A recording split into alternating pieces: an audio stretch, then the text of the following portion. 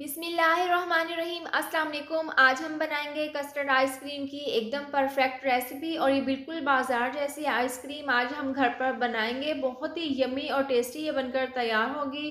Recipe पसंद आए तो वीडियो को लाइक कर दें। चैनल पर नए हैं तो इसको सब्सक्राइब कर दें। तो चलिए कस्टर्ड आइसक्रीम बनाना शुरू करते हैं। सबसे पहले एक साफ़ कढ़ाई में आधा लीटर हम दूध डाल देंगे और इस तरह से दूध डालने के बाद हम तेज़ आँच पर दूध को अच्छे से बॉईल कर लेंगे। दूध को उबलने के लिए हमने रख दिया है। इसके साथ ही एक अलहदा बाउल में एक कप हमने ठंडा दूध ले लिया है और दो चम्मच हम इसके अंदर वनीला कस्टर्ड के डाल देंगे और ये डालने के बाद हम इसको अच्छे से मिक्स कर लेंगे। दूध में बॉयल आने के बाद नीचे से आँच को स्लो कर देंगे और मज़ीद दूध को हम पाँच मिनट तक पका लेंगे।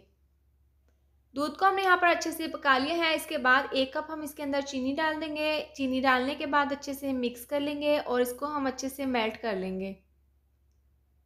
तो चीनी यहाँ पर अच्छे से मेल्ट हो गई है। इसके बाद दूध और कस्टर्ड का जो हमने मिक्सचर तैयार किया था, वो हम इस तरह से थोड़ा थोड़ा इसके अंदर डालकर, इसके अंदर मुसलसल चम्मच को चलाते हुए अच्छे से मिक्स कर लेंगे। और कस्टर्ड को हमने यहाँ पर बहुत अच्छे से पका लेना है ताकि कस्टर्ड का कच्चापन दूर हो जाए। तो यहाँ पर इसको पकते हुए तकरीबन आठ से दस मिनट हो गए हैं। हमने इसको यहाँ पर बहुत अच्छे से पका लिया है। और ये ठंडा होने के बाद मज़ीद गाढ़ा हो जाएगा। इसके बाद आँच को हम नीचे से बंद कर देंगे और कस्टर्ड को उतार कर हम काउंटर पर ठंडा होने के लिए रख देंगे। कस्टर्ड को पकाने के बाद हमने एक अलहदा बाउल में निकाल लिया था और ये अच्छे से ठंडा हो चुके हैं। मज़ीद इसको ठंडा होने के लिए हम एक घंटे के लिए फ्रिज में रख देंगे। इसके बाद एक बाउल ले लेंगे और इसके अंदर हम एक कप डाल देंगे व्हीपिंग क्रीम। व्हीपिंग क्रीम यहाँ पर बिल्कुल ठंडी है। आप भी जब भी आइसक्रीम बनाएँ तो आपकी व्हीपिंग क्रीम बिल्कुल ठंडी होनी चाहिए और इस तरह से बाउल में डालने के बाद इलेक्ट्रिक बीटर की मदद से हम इसको अच्छे से व्हीपिंग क्रीम को विप्ट कर लेंगे। व्हिपिंग क्रीम हमने यहाँ पर अच्छे से विप्ट कर ली है और आप यहाँ पर देख सकते हैं, बहुत ही फ्लफ़ी से ये बनकर तैयार हो गई है। इसके बाद जो कस्टर्ड हमने फ्रिज में ठंडा होने के लिए रखा था, वो अच्छे से सेट हो चुके हैं। इसके बाद हम ये तमाम कस्टर्ड व्हिपिंग क्रीम के अंदर डाल देंगे और दोबारा से हम इसको अच्छे से मिक्स कर लेंगे। इसके साथ ही अगर आपको मेरी ये वाली वीडियो पसंद आए तो आप इसको लाइक और शेयर करें। चैनल पर नहीं है तो इसको सब्सक्राइब कर दें और साथ दी हुई बेल को भी प्रेस कर दें।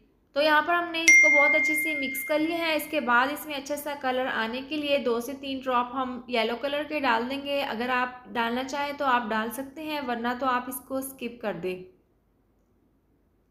कलर डालने के बाद हम दोबारा से इसको अच्छे से मिक्स कर लेंगे।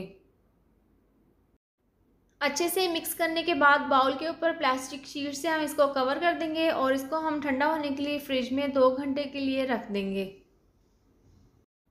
कस्टर्ड आइसक्रीम को फ्रिज में रखे हुए दो घंटे हो गए हैं और ये अच्छे से ठंडी हो चुकी है। इसके बाद इसके ऊपर से हम ये शीट हटा देंगे और इलेक्ट्रिक बीटर की मदद से हम दोबारा से इसको अच्छे से मिक्स कर लेंगे।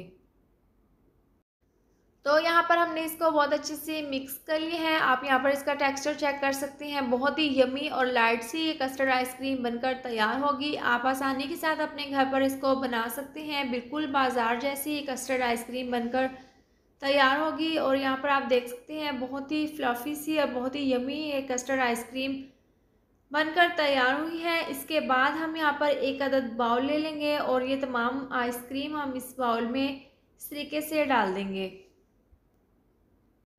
बाउल में डालने के बाद स्पैचुला की मदद से बिल्कुल हल्के हाथों से हम इसको बाउल में अच्छे से सेट कर लेंगे। इसके बाद हमने यहाँ पर एक फॉइल पेपर का टुकड़ा इस तरह से काट लिया है। ये हम इसके ऊपर इस तरह से रख कर इसको सेट कर देंगे। इसके बाद इसके ऊपर हम ढक्कन बंद करके इसको फ्रिज में पूरी रात के लिए आइसक्रीम को जमने के लिए रख देंगे। आइसक्रीम को ओवरनाइट फ्रिज में रखने के बाद ढक्कन खोलकर हम चेक कर लेते हैं। तो इस तरह से ढक्कन हटाने के बाद फॉइल पेपर को हम इस तरह से हटा देंगे। बहुत ही ज़बरदस्त ये कस्टर्ड आइसक्रीम बनकर तैयार हुई है। इसके बाद हम इसको प्लेट में निकाल कर इस तरीके से सर्व कर लेंगे। बहुत ही मज़ेदार, बिल्कुल बाज़ार जैसी कस्टर्ड आइसक्रीम बनकर तैयार है और आइसक्रीम कप में हम डालकर इसको सर्व कर लेंगे। इसके ऊपर टूटी फ्रूटी इस तरह से डाल देंगे, बारीक कटी हुए पिस्ते और बादाम इसके ऊपर छिड़क देंगे। बहुत ही मज़ेदार यमी सी आइसक्रीम बनकर तैयार हुई है। आप अपने घर पर इस तरह से एक बार ज़रूर ट्राई करें और अपनी फैमिली के साथ इंजॉय करें। उम्मीद करती हूँ आपको मेरी ये मज़ेदार सी आइसक्रीम की रेसिपी ज़रूर पसंद आई होगी। तो ये थी हमारी आज की वीडियो अगर आपको मेरी ये वीडियो पसंद आई हो तो इसको लाइक और शेयर करें। चैनल पर नए हैं तो इसको सब्सक्राइब कर दें और साथ दी हुई बेल को भी प्रेस कर दें ताकि मेरी आने वाली हर नई वीडियो का नोटिफिकेशन आपको मिलता रहे। अल्लाह हाफिज़।